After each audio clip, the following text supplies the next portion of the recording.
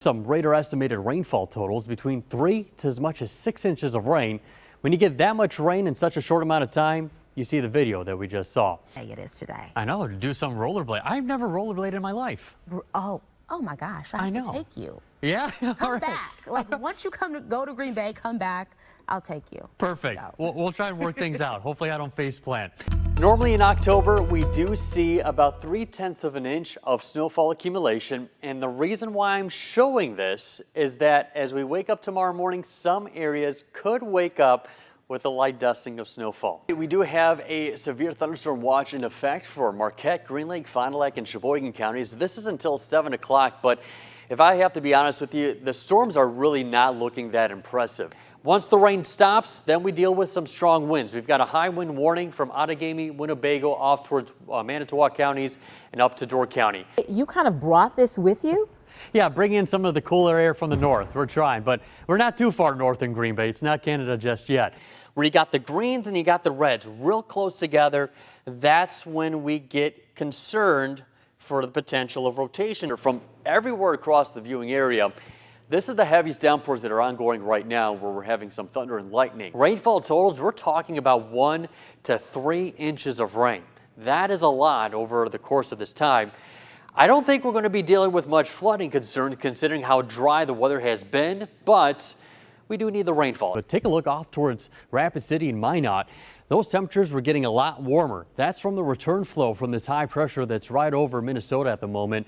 So high risk future radar product does show that first cluster of storms moving out overnight tonight, and then we'll have a little lull. Then tomorrow morning, we have another line of storms that move in here in the morning hours but they do start to fall apart as you get towards daybreak. Homa, and also some wind damage as well in the town and also north into Hancock. And earlier there was a cluster of storms that moved through into. Now, NBC 26 meteorologist Gino Recchia.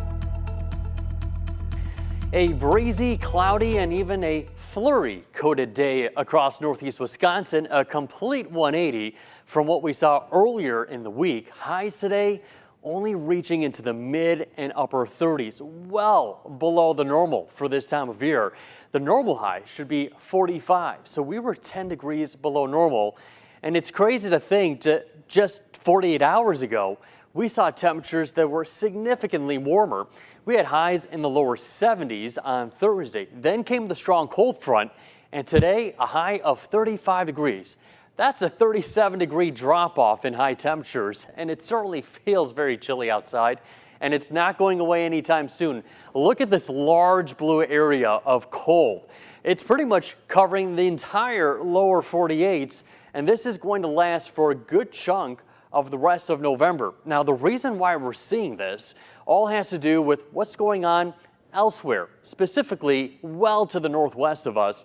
We've got a strong ridge of high pressure that's drawing in some warm air into the Gulf of Alaska. What that's causing is the jet stream to buckle and shoot all this Arctic air down into the lower 48s. So while Anchorage will be dealing with above average temperatures, we in Green Bay will be on the opposite side of it. High pressure is going to be moving in for tomorrow, however. For the Packers game, it looks like a nice and sunny day at Lambeau Field. It still will be on the cool side. So while we still have some light flurry activity across Wisconsin at the moment, this will start to diminish as we head into the overnight. The exception, however, will be right along the south shores of Lake Superior, where there's still the expectation of some lake effect snow showers to continue and persist into the overnight hours. That's why we do have a winter weather advisory until 6 a.m. tomorrow for additional accumulation of snowfall. And there's even some other areas that saw accumulating snowfall, especially early this morning.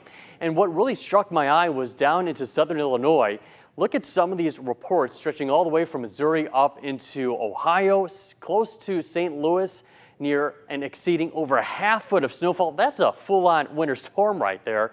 And even one to three inches of snowfall from Indianapolis off towards Cincinnati. It's always interesting and fun to see how areas to the south of us see accumulating snowfall for the season before we do. So for the rest of tonight, we'll have mostly clear skies. Then as we head into daybreak tomorrow, it looks like another quiet day outside. Temperature planner for tomorrow will be getting into the mid 30s, still below average for this time of year of 45, which is where we should be. Next weather system, though, that moves in will be on Tuesday, and this is where I think we'll have a better chance of seeing accumulating snowfall for our area.